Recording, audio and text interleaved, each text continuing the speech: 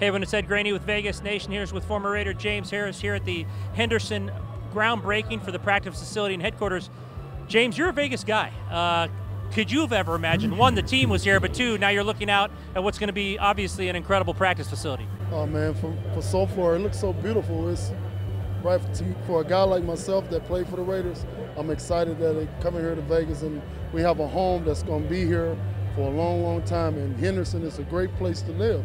And for the Raiders to choose this place, it's wonderful. Yeah. Uh, back in the day, what would this have compared like? Wow.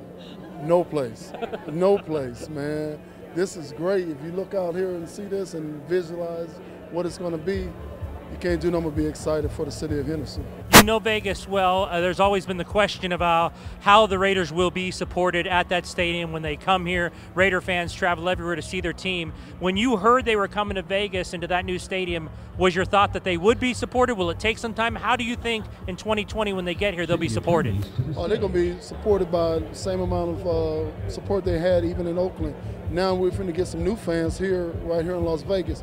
One thing about Oakland uh, Raider fans, which is, I'm sorry, not Oakland, but Raider fans, we travel, we're from everywhere, we're from all walks of life, and we're some of the best fans in the world. And to me, as a Raider, number one fans in the world. The Raiders is going to be supported if they go play on the moon.